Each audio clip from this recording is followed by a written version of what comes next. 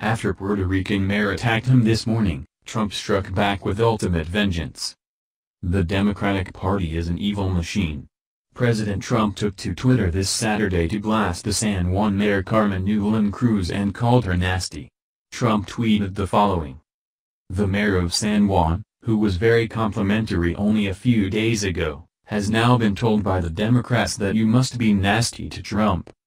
Such poor leadership ability by the mayor of San Juan, and others in Puerto Rico, who are not able to get their workers to help. Cruz responded to Trump's comments this morning telling Joy Reid on MSNBC, actually, I was asking for help. I wasn't saying anything nasty about the president, but don't take my word for it.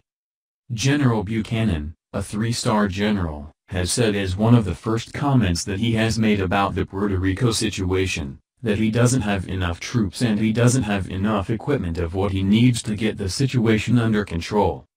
White House social media director pointed out that she is putting on a show. It's not surprising that a Democratic-run island territory is blaming Trump for the disasters. It is run by Democrats. Share this to support our president and don't give a crap what the media says.